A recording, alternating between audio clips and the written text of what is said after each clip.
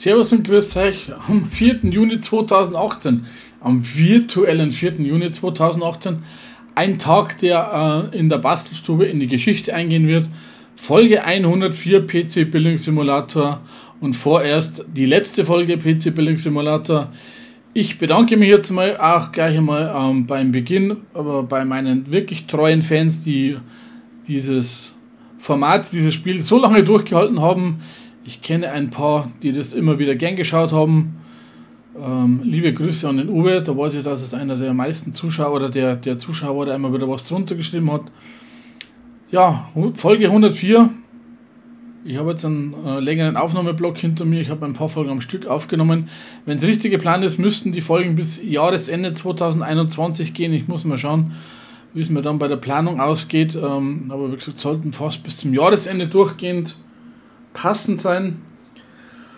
Ob es weitergeht, wann es weitergeht, wie es vielleicht immer weitergeht mit PC Building Simulator, ich weiß es nicht, aber wie gesagt, Folge 104, wenn man sagt, wir haben 52 Wochen im Jahr, dann haben wir jetzt so einen guten Schnitt. Es sollten dann ungefähr zwei Jahre gewesen sein, die wir dieses Spiel auf meinem Kanal gezockt haben und damit soll es fürs erste einmal gut sein. Mir hat das Spiel verdammt Spaß gemacht, muss ich sagen. Es sind immer wieder so die gleichen Aufgaben gewesen. Ab und zu waren noch mal coole Herausforderungen dabei. Zum Schluss jetzt auch mit den ganzen Wasserkühlungen.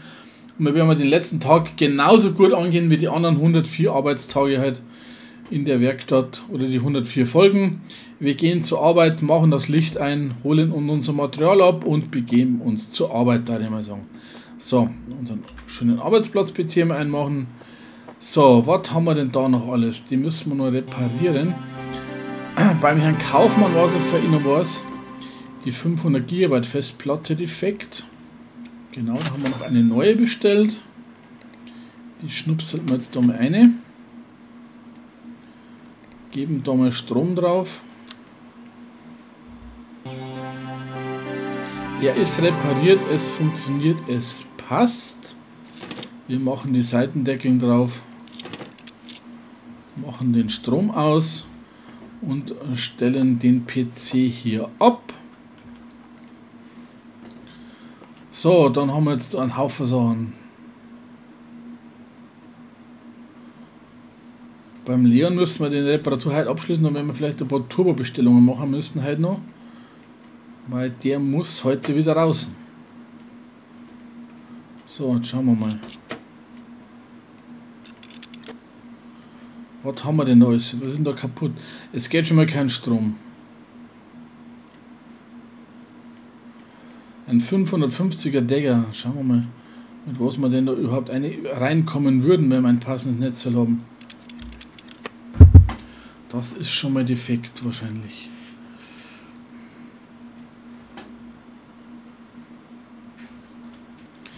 Natürlich genau das, was wir nicht haben.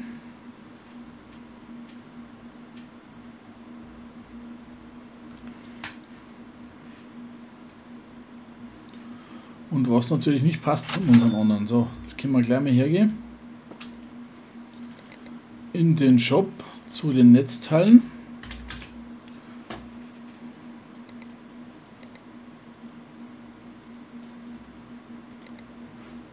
So, falls wir halt andere ähm, äh, dringende Reparaturen haben, wir werden uns das Ganze jetzt mal anschauen. So, den müssen wir übertakten. Ich würde sagen, den müssen wir das erste Mal reinigen.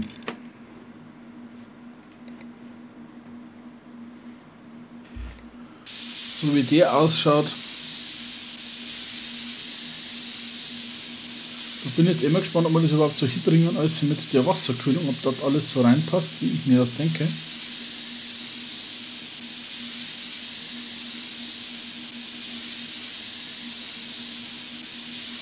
Das ist jetzt eine meiner spannenden Herausforderungen für die Folge 104, muss ich ganz ehrlich sagen. So, jetzt gehen wir mal ganz kurz her installieren und schalten wir mal auf. Ähm, der möchte geflochtene rosa Kabel haben.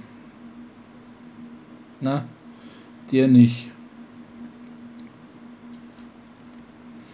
Der andere drüben wollte geflochtene rosa Kabel haben. Die müssen wir jetzt mit Wasserkühlung versorgen.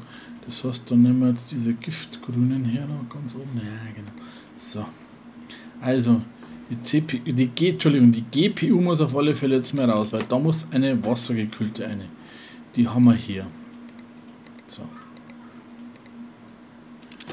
Jetzt ist die Frage, jetzt müssen wir mal den Deckel oben entfernen.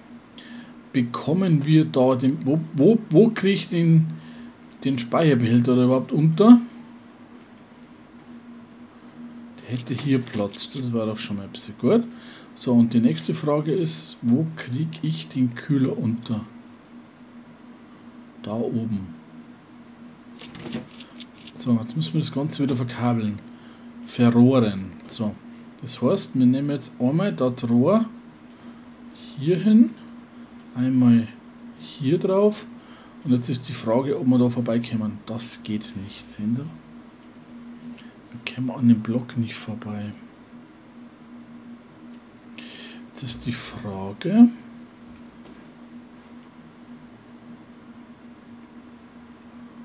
kommen wir unten, wir müssen unten dann rundum, oder? Machen wir das, das Cap, das Schnäuzelchen da mal weg. Schauen wir mal. Der macht das aber so ungeschickt, finde ich. Naja gut, warte mal. Dann.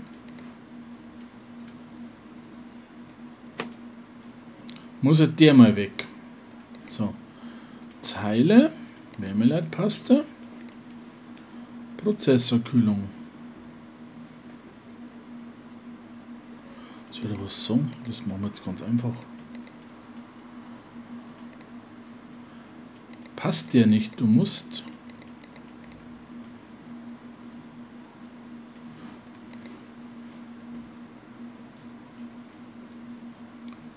Der würde also nicht passen, oder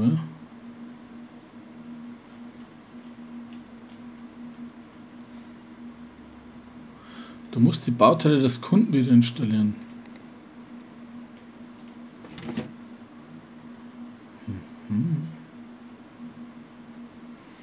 Die, so, die Gegenfrage ist natürlich jetzt halt.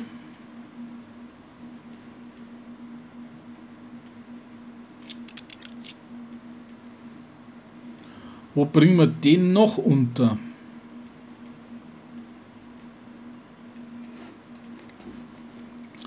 Wo bringen wir den Kühler noch unter? Den kann man da hinten hinbauen. Da werden wir wahrscheinlich auch wieder nicht vorbeikommen mit das mit Schläuchlein, oder?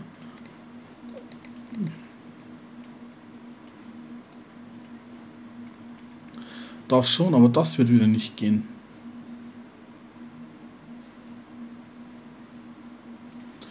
Das heißt...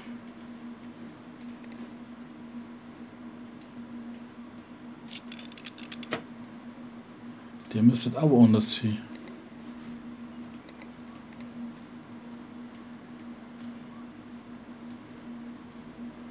Aber der passt nur da.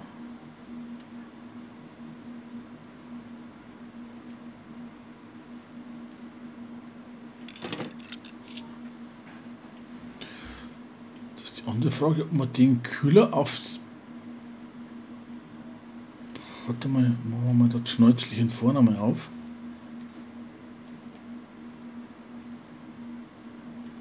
Ich erwische das Kabel nicht hier.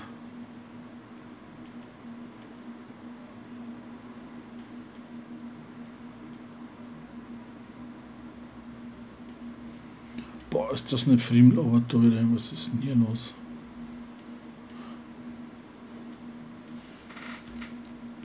Machen wir das Ding hier auf. So.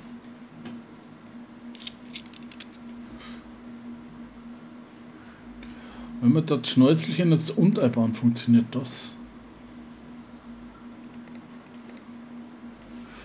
Da geht es nicht wegen der Festplatte, oder? Da würde es passen. Frage ist nur, können wir da mit den Kabeln rundum?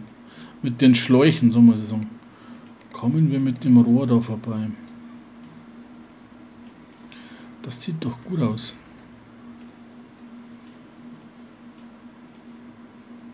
Denkst du wohl.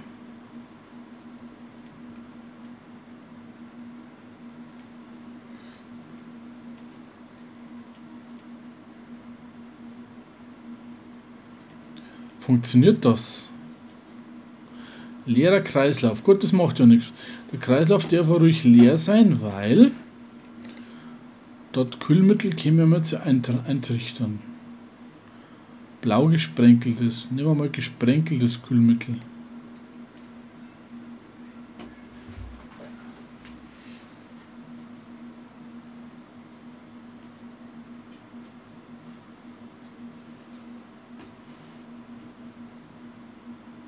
Nice. So.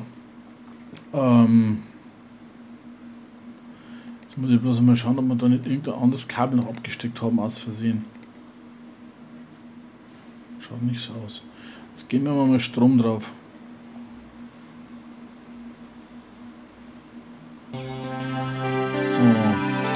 Müssen wir mal einen Stick hineinstecken. Den Stick installieren. Halt. Programm hinzufügen. So, Beleuchtung können wir mal eine machen.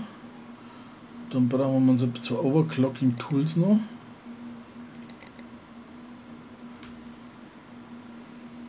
Achtzehn müssen wir hin.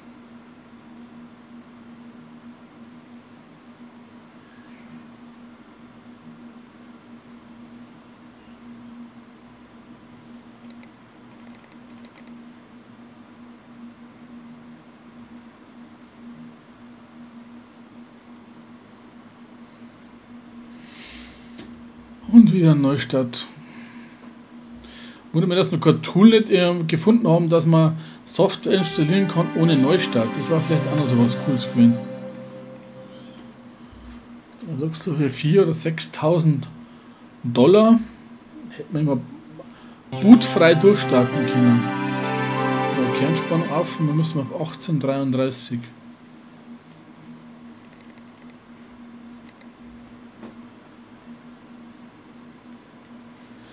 Einen Test mache ich jetzt einmal, weil mir ist jetzt ich bloß. Nein, ich hab's Ding nicht drauf, dann ist es wurscht, gut? Dann schrauben wir den, den Eimer nur wieder zusammen. So. Staubschutzfilter einmal. Frontblende. Deckenplatte. Seitenwand. Seitenwand. So, Strom aus. Auch den können wir kassieren. So. Und da haben noch ein Reparatürchen. Gut, das war jetzt aber auch nicht das Problem, weil da muss man eigentlich nur, eigentlich nur, dann nehmen wir jetzt Kunststoff schwarz, die Grafikkarte ersetzen.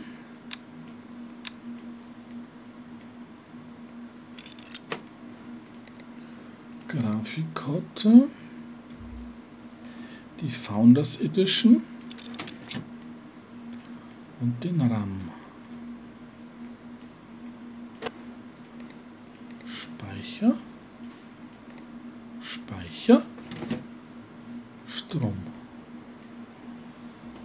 Es rockt. Bei S-Rock.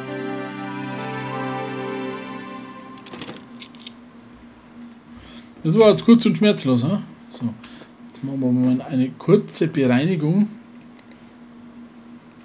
Da ist alles in Ordnung. Da ist alles in Ordnung. Da haben wir eh nichts drin. Hat. Den kaputten tun wir ins Nirvana.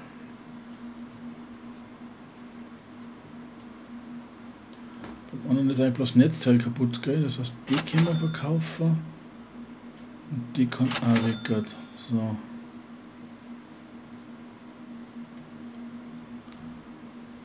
Gut.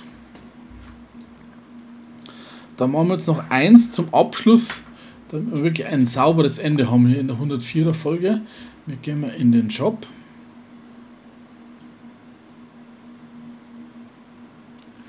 Nehmen wir die Just-in-Time-Lieferung. Wird zwar etwas teuer, das macht aber nichts, weil wir müssen mal das Ding heute halt fertig bringen.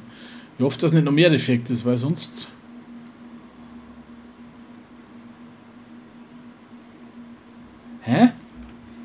Achso, ja. Schlau, man sollte das Zeug aufräumen. Leichter Schock, leichte Panik.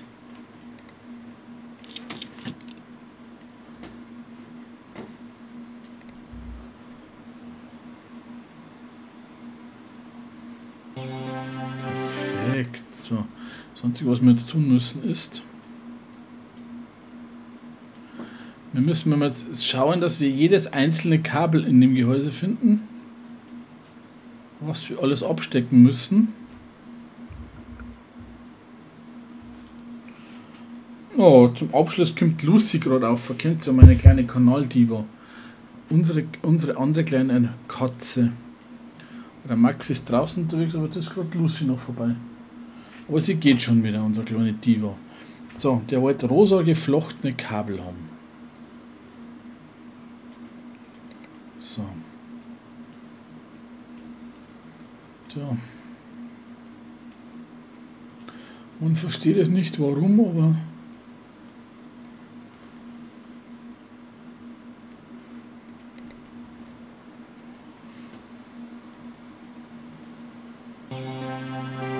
LED-Betriebssystem, es ist alles soweit in Ordnung. Das heißt, wir können beide Seitenwände wieder draufschreiben.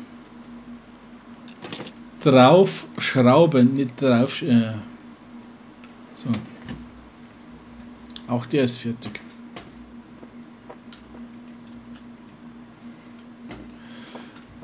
Ja, Kinderchens, ich mache den PC hier mal aus.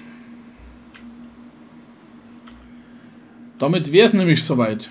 Es ist soweit. Wir machen das Licht aus. Folge 104 ist zu Ende. Die Folge 104 ist zu Ende. So leid es mir tut. Mal schauen, vielleicht ähm, kämen ja entsprechende Kommentare. Ich werde auf alle Fälle jetzt mal ein bisschen Pause machen hier im Kanal mit PC Building Simulator. Also vielleicht ähm, haben ja doch nur die Fangruppen, die sich postiert haben und ein Aufschrei geht durch den Kanal, durch Deutschland, durch Bayern. Und wir müssen wir doch weitermachen, ich weiß es nicht. Ähm, ich lasse es auch jetzt mal draußen stehen. Die neuen Aufträge schaue ich mir nicht an. Sollten wir da irgendwann mal weiterspielen, ähm, ich muss mal schauen, wie gesagt, ich lasse das Ganze jetzt mal ein bisschen ruhen hier bei mir am PC. Werde mir die ganzen Kommentare mal anschauen wenn denn die Folge 104 mal online ist. Aber wie gesagt, es wird mit Sicherheit ein bisschen Pause geben und dann schauen wir mal. Vielleicht spiele ich es im stillen Kämmerlein ein bisschen weiter, mache ab und zu mal ein paar schöne Screenshots. Aber Let's Plays, Freitagabend 20.30 Uhr. Wir werden schauen, was es dort anderes gibt. Wir werden ja doch erst mal ein paar neue und interessante Spiele noch kommen. Ich verabschiede mich von euch. Vielen, vielen Dank für die treuen Zuschauer, die ähm, das Spiel so lange durchgehalten haben bei mir am Kanal, an meine treuen Fans, an die Fangemeinde von PC Building Simulator. Ich wünsche noch einen schönen Tag. Alles Liebe und Gute, euer Maverick.